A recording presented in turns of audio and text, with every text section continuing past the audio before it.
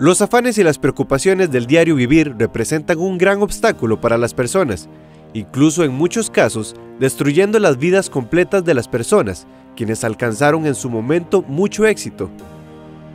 Esta es la preocupación que la periodista y escritora Stephanie Campos trata en su libro Transformación Profunda, uno de los grandes títulos presentados en Expolit 2018. Bueno, este libro es un tema bastante diferente y surge de la necesidad que empecé a ver y fue un tema que Dios puso en mi corazón, de que muchas veces las personas están muy enfocadas en, en, quién tiene más, en quién luce mejor y estamos dejando de cultivar lo que realmente nos sostiene. Por ejemplo, hemos visto muchos actores que teniendo entre comillas el éxito que el mundo plantea como concepto de éxito, tienen dinero, tienen fama, terminan suicidándose. Entonces, en mí se encendió esa lucecita que dije que está haciendo falta. Está haciendo falta cultivar el interior, porque si nosotros tenemos una base sólida que nos sostenga, vamos a poder ser muy efectivos en todo lo demás que hagamos.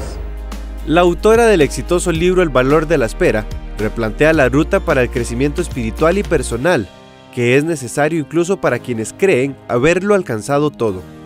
creo que en nuestra sociedad necesitamos mucho fortalecer a las personas de adentro hacia afuera. Muchas veces somos muy exitosos en lo que estamos haciendo y en lo que estamos alcanzando y quizás hasta nos afanamos, nos frustramos, nos estresamos, pero creo que cada uno de nosotros necesita volver a su esencia, necesita conectar número uno su ser, su interior con el Señor y número dos consigo mismo para que puedan conocer sus habilidades, sus fortalezas y a partir de ahí, ahora sí, vamos a hacer y por ende vamos a lograr.